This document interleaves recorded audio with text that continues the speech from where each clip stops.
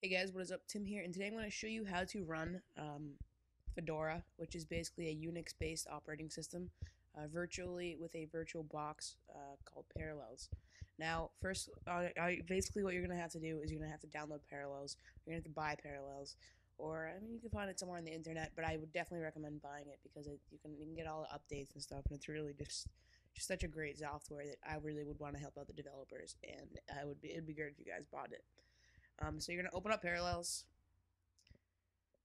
And it should take a second because I am screen capping. Um, but it's going to open up Parallels Desktop. And uh, you're just going to, if you don't already have a virtual box set up, it'll prompt you with this screen. But if you don't, um, then you can go to plus, and it'll, then it'll prompt you with this screen, which then you can just simply go over to download Fedora.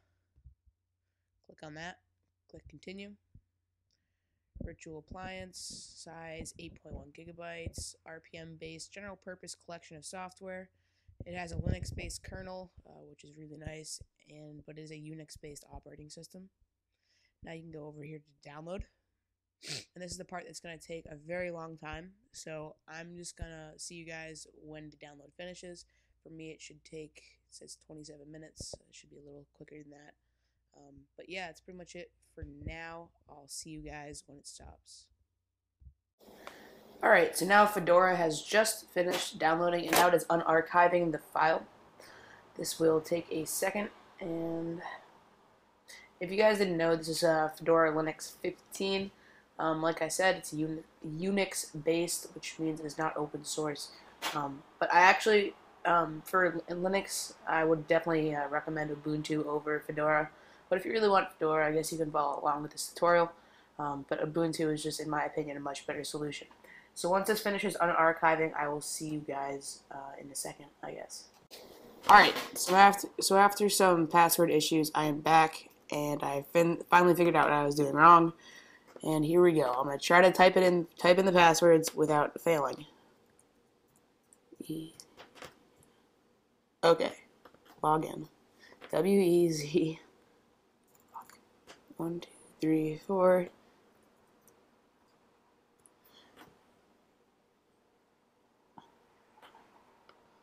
Alrighty, so after some password issues, I am back, and I have finally gotten it to work. Uh, the passwords on this uh, OS are actually pretty annoying. Um, they won't let you match any characters, and they won't let you um,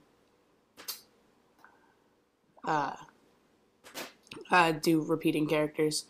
Um, so that was pretty annoying. Okay, so it was gl glitching out for a second there, but now it is loading back up.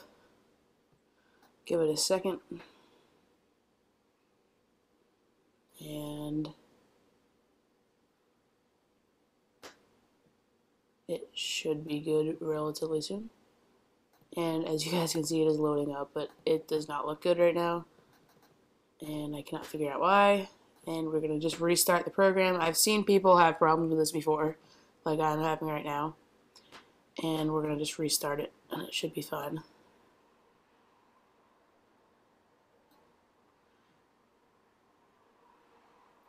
Now, if you do have any problems, um, like I'm having right now, make sure you leave it in the comment section below. Before you do that, just try to restart your virtual box because that's usually the issue.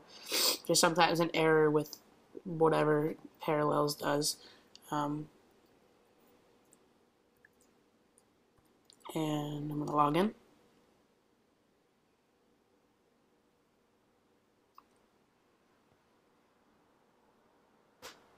And from there you can go view full screen. And there's Fedora. Looks very, very nice. I do love Fedora quite a bit. You can see you got all your browsing applications and Firefox, and it is just a very, very cool operating system. I really do love it. Um, yeah, it's just one of my favorites of all time. Obviously, like I said before, I would definitely recommend Ubuntu over Fedora. But if you're more of a coder, this is probably more for you because it is just so simply awesome.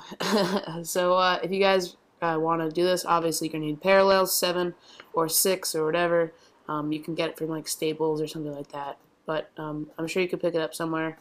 And if uh, worst comes to worst, I'm sure you could find it online somewhere.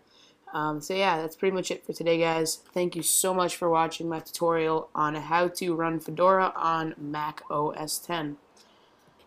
And uh, that's pretty much it for today, guys. This is Tim, and I'm out. Peace.